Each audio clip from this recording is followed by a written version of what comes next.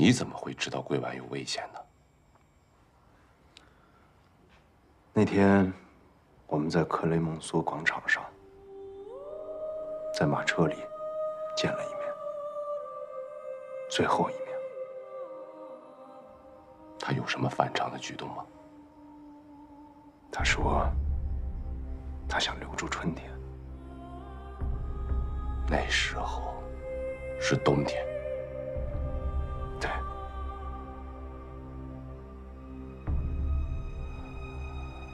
他说，他也许等不到春天了。那天天气很冷。他痴痴地望着马车窗外漫天飞雪的世界，对生命充满着留恋。我说：“你太悲观了，这难道是你看到的最后一场雪？”他说什么？他说：“今生而已，今生而已。”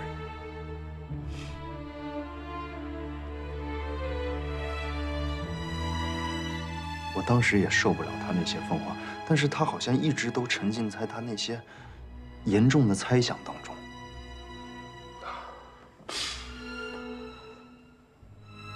很想知道，你以及你和桂婉所有的过往，你能都告诉我吗？毫无保留的都告诉我，可以吗？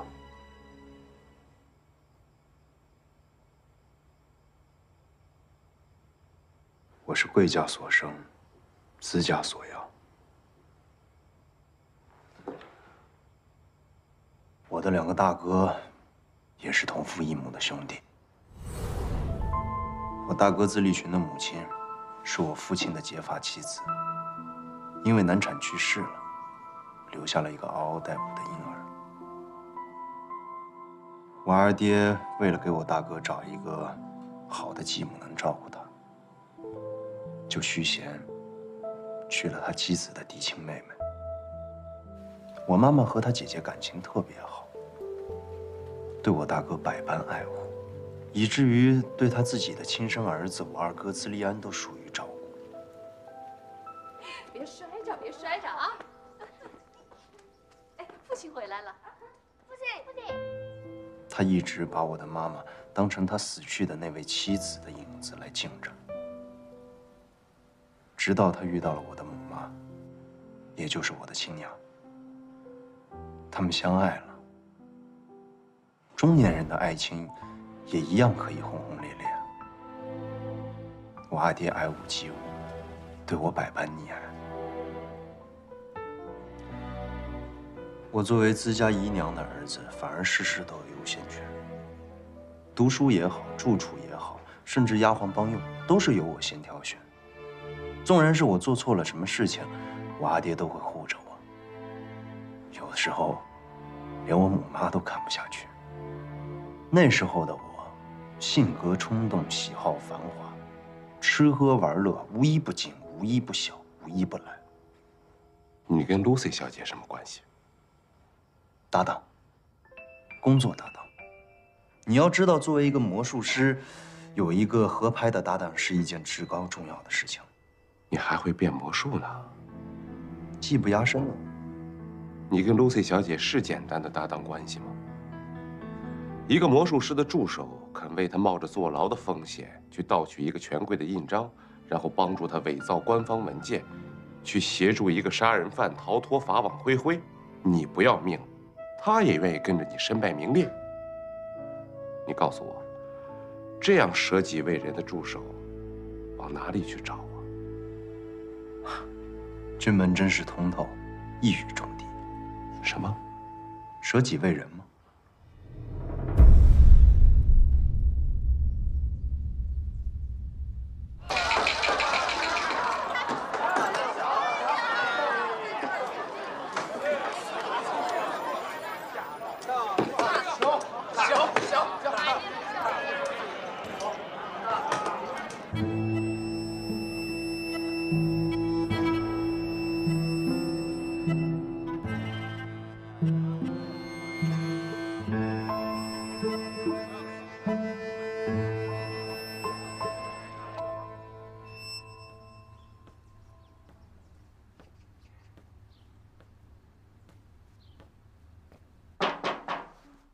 小姐，您在里边吗？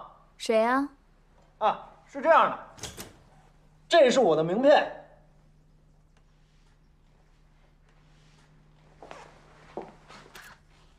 啊，Lucy 小姐，我想问一下，您有没有兴趣跟我在大上海声影世界一起演一场演什么？魔术啊？做我的助手。呃，Lucy 小姐，你你这身衣服有点儿不太好看。好不好看又不是给你看的。你让我做你的助手，对啊、当着观众的面儿大卸八块，还要面带微笑。哎，是这样的，不仅仅要大卸八块，而且要灰飞烟灭，再面带微笑。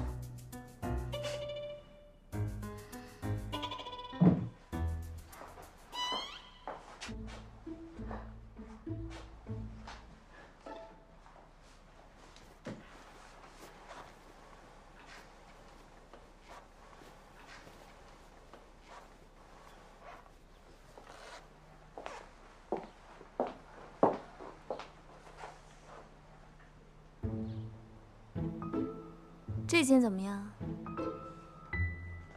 说实话，老气横秋。哎，我说的事儿你考虑的怎么样了？你为什么要选我呀？因为你长得特别啊。我以为你会觉得我手快呢。再快还能快得过我呢？这件呢？还是差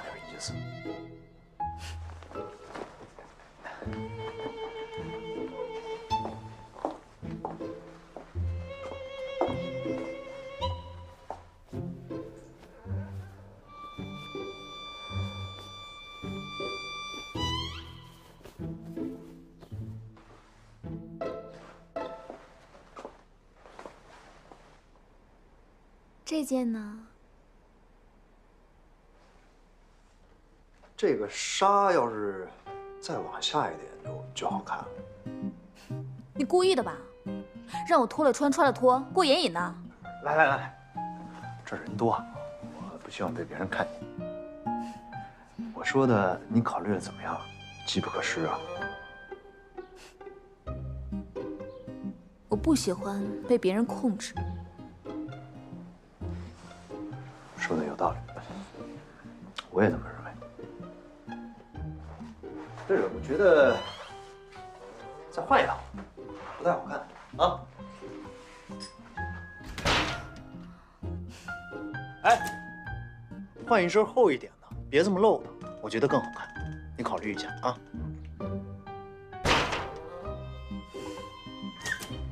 还有啊，魔术那个事儿，过了这个村就没这家店了。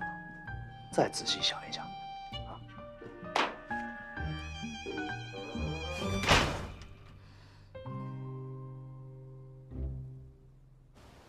你说了不要赌，不要赌，你怎么就不听呢？露西姐，你不知道，是前两天家里给我来信说，发大水，所以地全都被淹了。我怎么办？我没有钱，我在舞厅挣的钱，我连我自己的饭钱、房钱都不够付，所以我就一天只吃一顿饭，可是还是不够。我就想能不能赌钱，看能不能翻本，可是谁知道？露西姐，你帮帮我吧！他们说，如果要是再不还钱的话，就要把我房子都掀了。房子？你没有房子，你骗他们说你有房子？哎呀，你真的是气死我了！我没有办法了，我真的没有办法了，露西姐。好了好了，多少钱啊？一千块。一千块？我也没有那么多钱呀、怎么办呀？真的没有办法了。哎，变魔术的，等等，等等，我记得我给过你名片，我我可以等。那你等着。哎，看着他，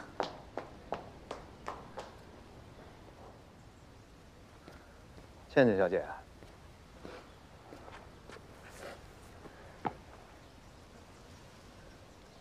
读书了？欠了多少钱？一千块。还赌吗？你发誓？发誓。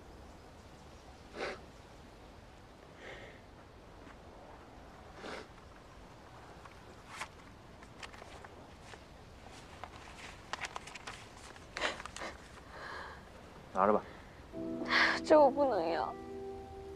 拿着吧，拿着。记住啊，这事儿别告诉 Lucy。谢谢你，小资少爷。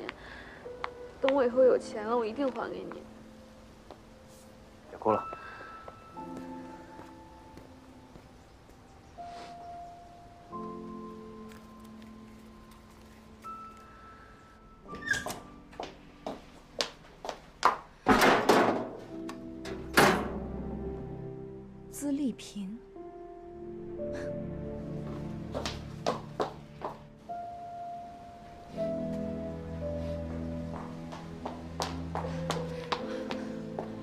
小资老板，大人有大量。想好了，当众伸手分离。多少钱一场？搞艺术上来就提钱，多少钱一场？两百，六百。三场一千。现在就给钱。这么着急？当然着急，一条人命呢，能不急吗？露西姐，小四少爷已经借给我了。拿着吧，演出费你应得的。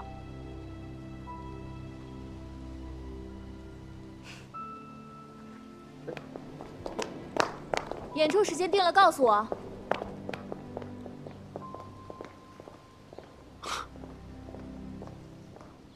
真是舍己为人。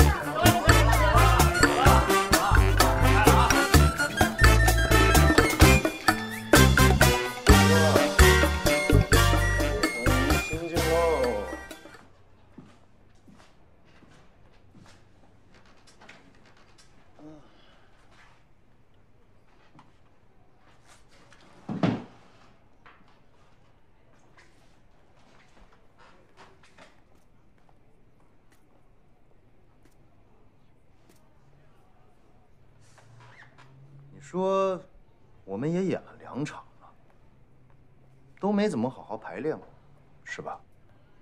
每次都是台上见，这对观众多不负责呀！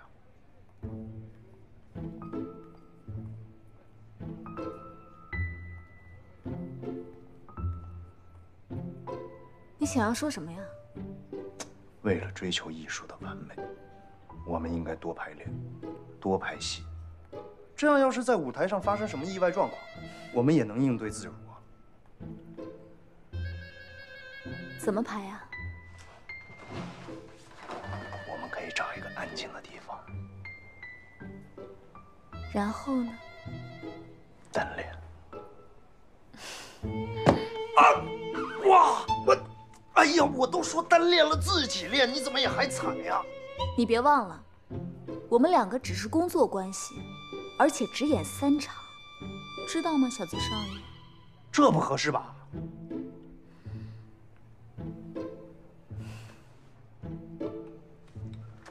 行，明白，清楚。只演三场，也就是说，今天下午是最后一场，是你我的永诀之日。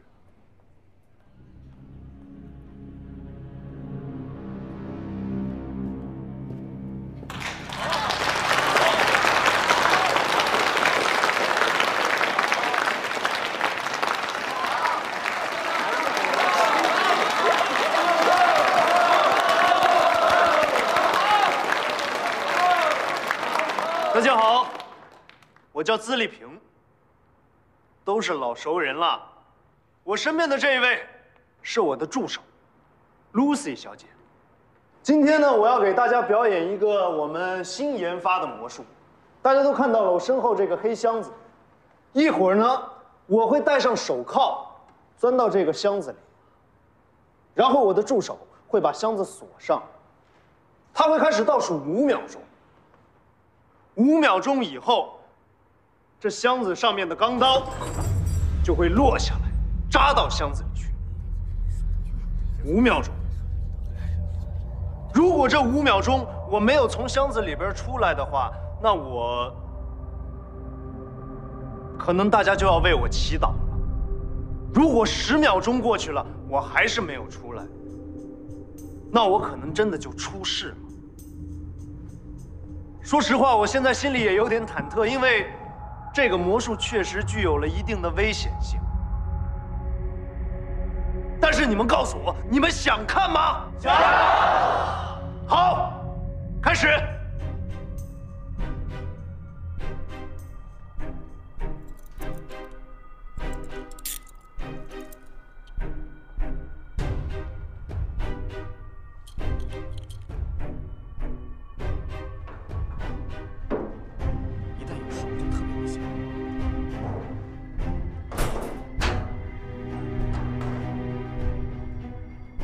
为我祈祷吧。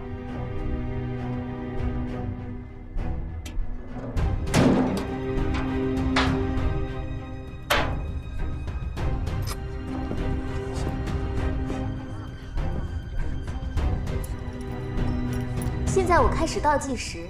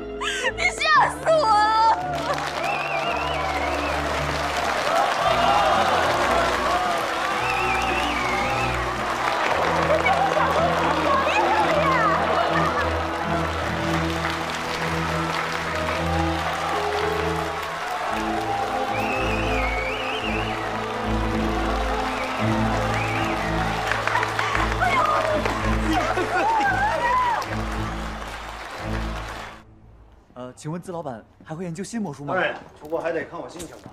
今天真是大开眼界啊！您真的是无师自通，还是有高人指点？这个问题还是保密吧。您还有更大的魔术项目吗？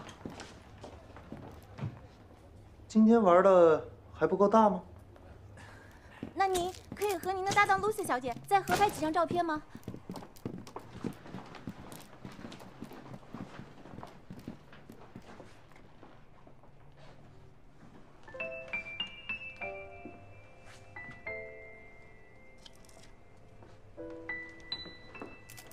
这是我的人生，不是你的魔术。我真是越来越喜欢你喽。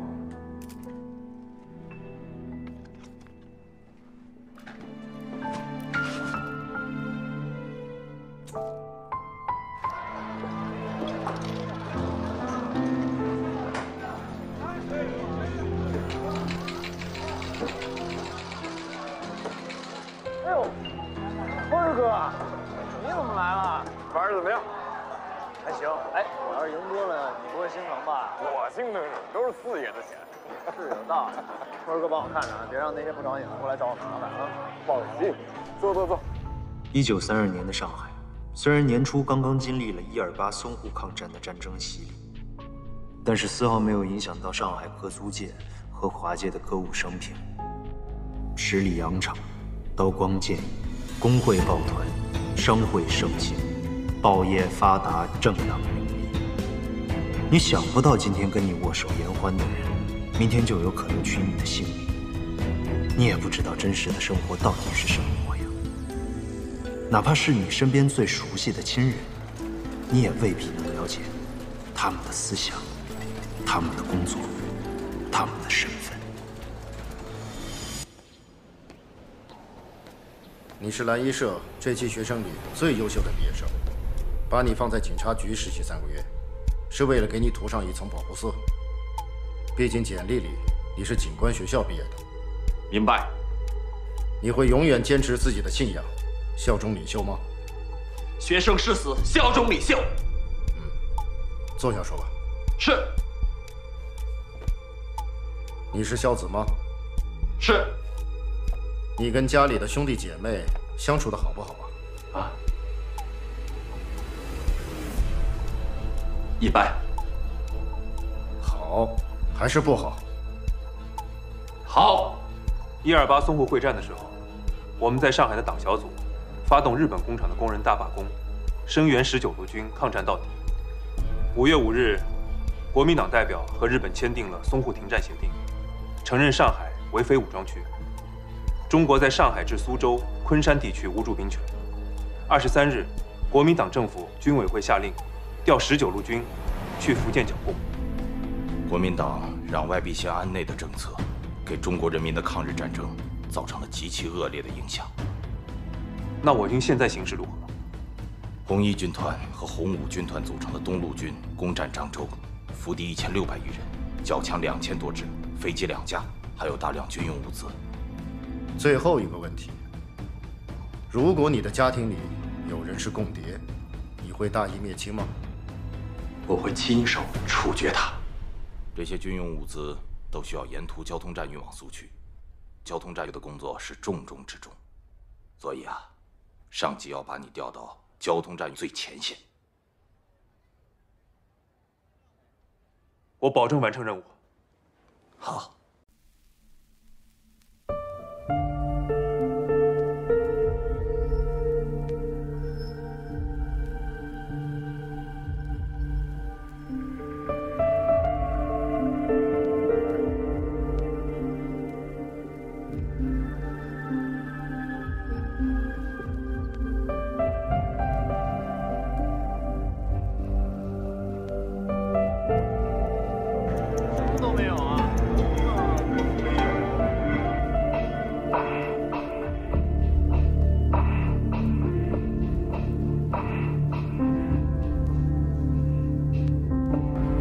看似魔幻的舞台，演绎的却是最真实的自己。那是我最开心的日子，最平凡而又充满乐趣的时候。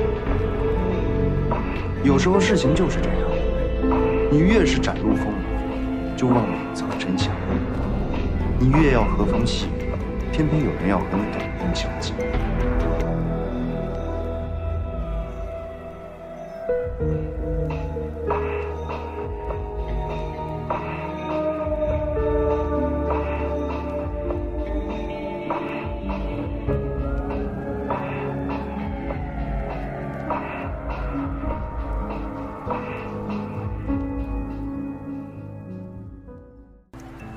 我听说，你大舞台的唐经理兴娶了第三方太太，喜事啊，喜事儿！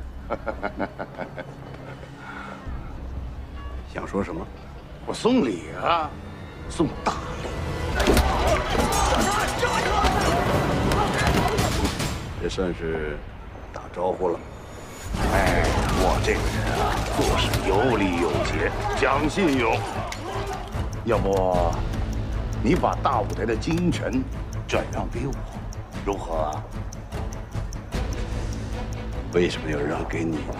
你看啊，我叫朱元贞，你叫文思义，我排第一，你排第四，我们谁大谁小啊？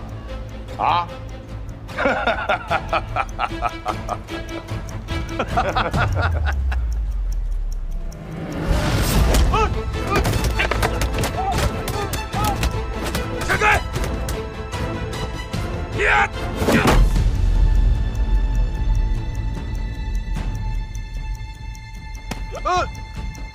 从现在开始，马上给我滚出上海！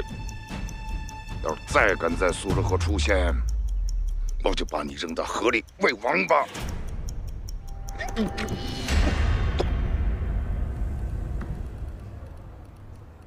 听说了吧？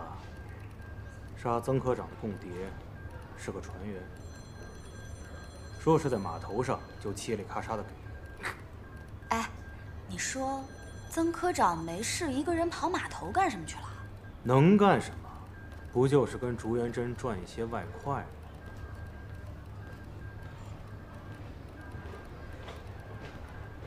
哎，新来的吧？是。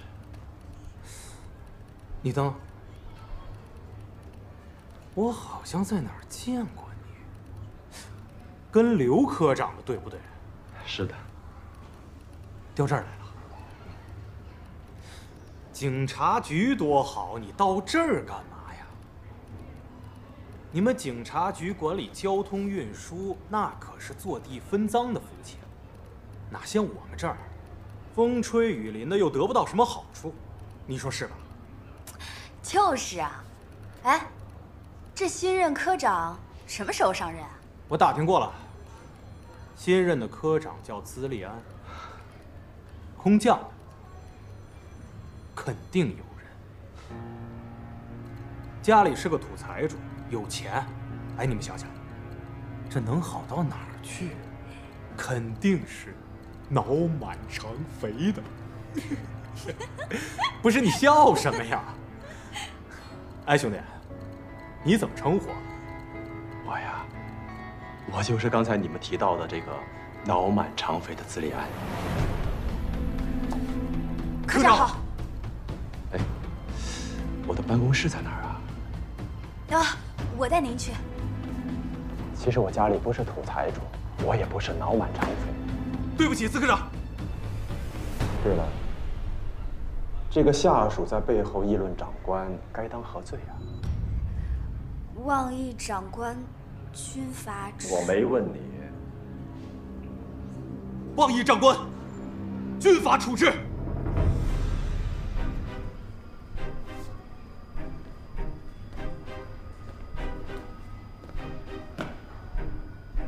那你就站在这儿，我什么时候让你走，你再走。是，司科长。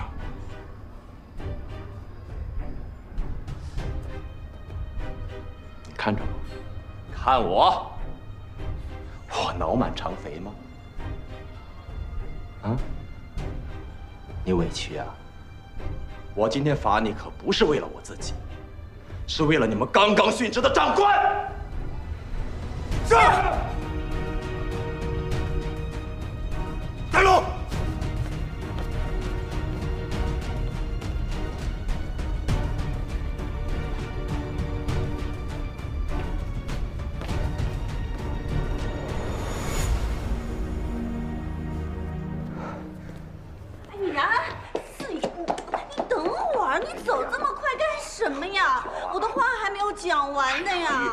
呀。我最近事很多的。我知道你的事情很多，但是你也要管一管小资的呀。你听着，阿玉，最近那个姓竹的在跟我争上海大世界的舞台，我是。那你也不能让小资这么混下去呀。小，小资，小资最近不是在跟那个露西谈恋爱吗？哎呀，谁跟你说他谈恋爱的问题啦？你知道的呀，小资交多少个女朋友我都不担心的。我现在跟你说的是他去你的赌场一直赌赌赌赌赌，你知道的呀，这人一开了赌性，那那收不回来的呀。好好好，我我我我一定管他，我一定管他。你你你站住！你贾四爷，小心！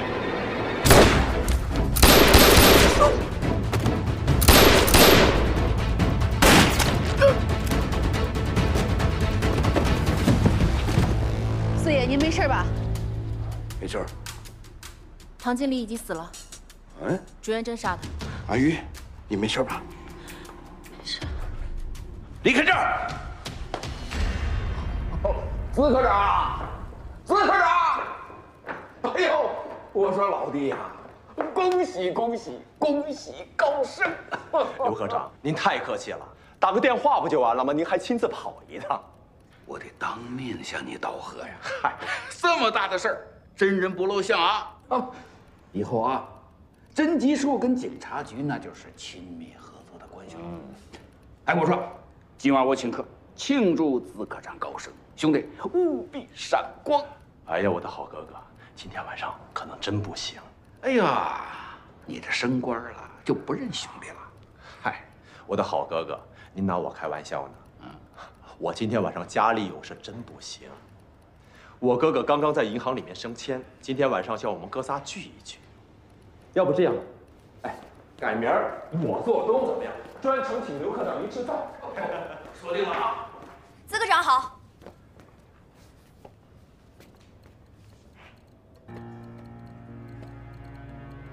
装的什么呀？给谁送饭呢？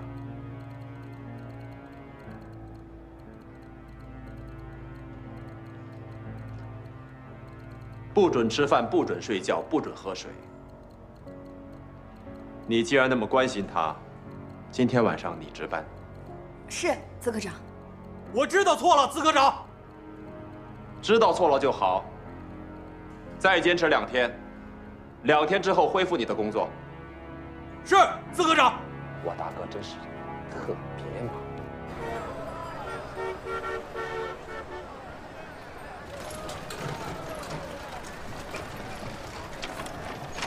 停车。慢点啊。谢谢啊。林然，哎，大哥，最近怎么样？今天我终于在市政府里有了自己的办公室了。那就是升职了，不错。小子要是有你一半的自律，那就好喽。咱们家小子现在越来越不像话了，成天在文四爷的赌场里面鬼混。他最听你的话，大哥你好好管管他。他可是咱爸的掌上明珠啊！掌上明珠，摔碎了一文不值。咱们家这颗珠子啊，我们不好好管管它，掉在地上早晚的事儿。小家伙跟着呢。我知道，别理他。走。哎哎哎，等等，在我背后说我坏话，这不合适吧？大哥，我说他越来越没大没小没规矩，您还老护着他。我哪儿没大没小了？瞧你穿这样，跟小混混似的，哪有我们家少爷的样子？不是我穿这，行，今天是你升职，我不跟你一般见识。二哥，生日快乐！来抱一个，来来来。哎，大哥吃你这套，我不吃这套。哎，行行行，为了庆祝二哥升职呢，今天我请客，二哥出钱。哎，我的钱包，大哥那是管你！我说你是混世魔王，大大哥不行，行行行行行行，别跟你二哥闹了，我请客行了吧？来，我要吃最贵的。如果说上海是片海，那我就是海里的一条鱼。年少轻狂，如鱼得水般的活在自己的世界里，游戏人间。整个世界都遵循着弱肉强食、胜者为王的秩序。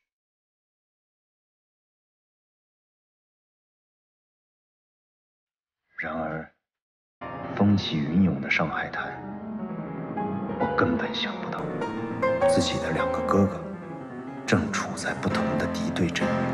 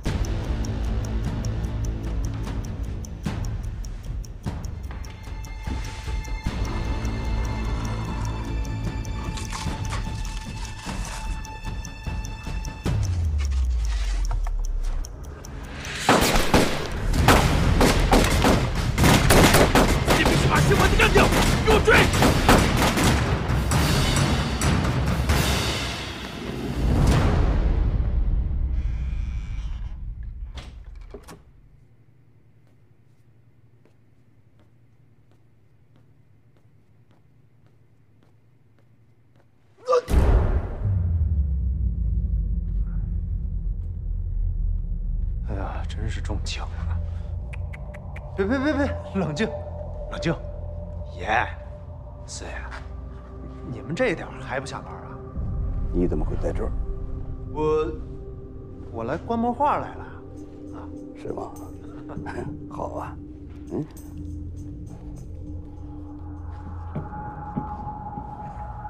身上背的是什么？我 又来偷画。四爷，这话说就难听了，这怎么能是偷呢？这是借借鉴呀！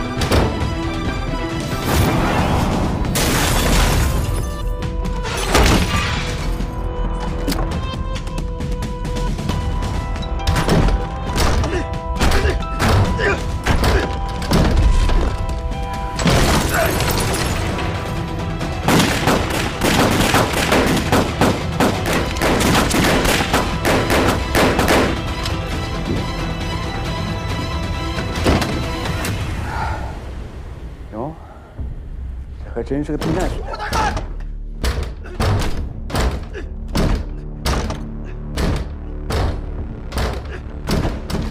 四爷，我有办法解决你的交通问题，但是您不介意留办啊？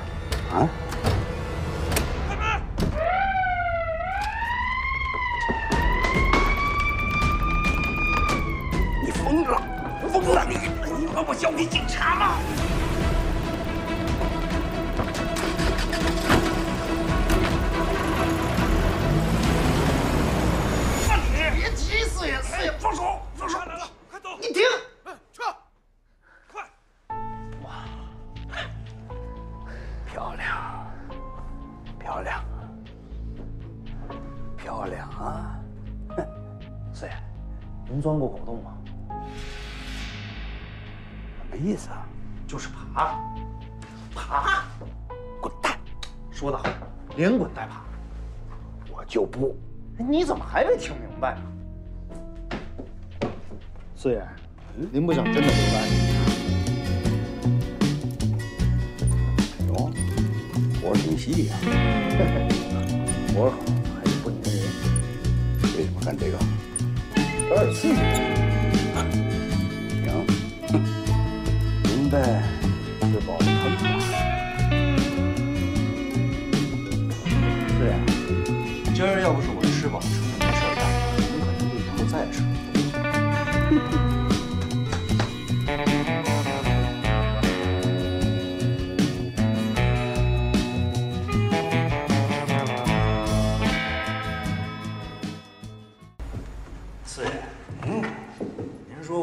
这事儿告诉我婶